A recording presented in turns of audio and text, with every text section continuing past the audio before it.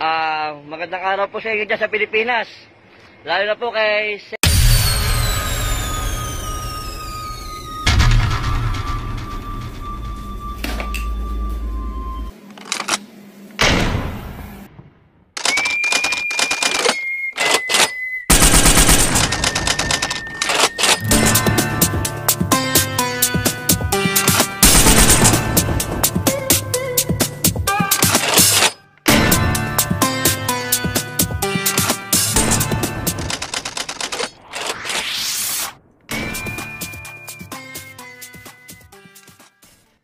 Ah, magandang araw po sa inyo dyan sa Pilipinas.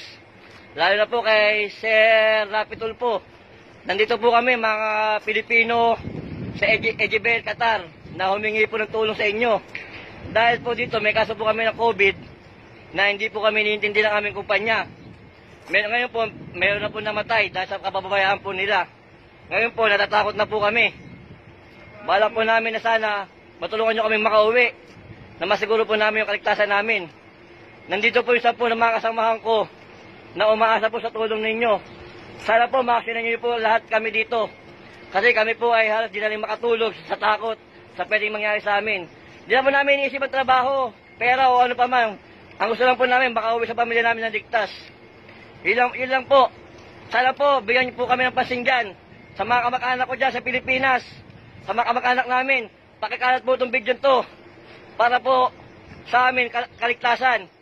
Ito po ang aking mga kasamahan na humingi po ng tulong at awa sa, awa sa inyo dyan sa Pilipinas na sana po marating po ng maaga tong video na to na maaga po kaming maligtas dito sa amin. Ito po sila. Sana po makarating kay Sir Rapi Tolpo yung itong video na to. Sana po makarating kay Rapi, uh, Sir, Sir Rapi Tolpo. Tsaka kay sa, sa mahal na presidente po natin. Sana po makakarating to. Sana matulungan po kami kagad. Sana gusto po namin umuwi na po lahat. Pilipino na apektado dito. Meron po kaming isang Pilipino, isang Indian na sa apat na araw na po na nag-positive. Ngayon reklamo po namin kanina na bakit po hindi ginagamot. Lang po. Hindi na po namin tayo na sa amin mangyari na magkasakit at pabayaan din po nila. Sana po, puntahan po agad kami dito ng embahada natin. Dito po kami sa... Ato sa Dipre. 38, 38, Yung industrial. Zone 10, pare, zone 10.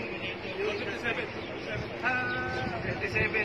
Oh, sa 27. Street 2, street. Street 592. Oo. Building 10. Sir Rapi, umaasa po kami sa tulong nyo. Sige po, God bless po.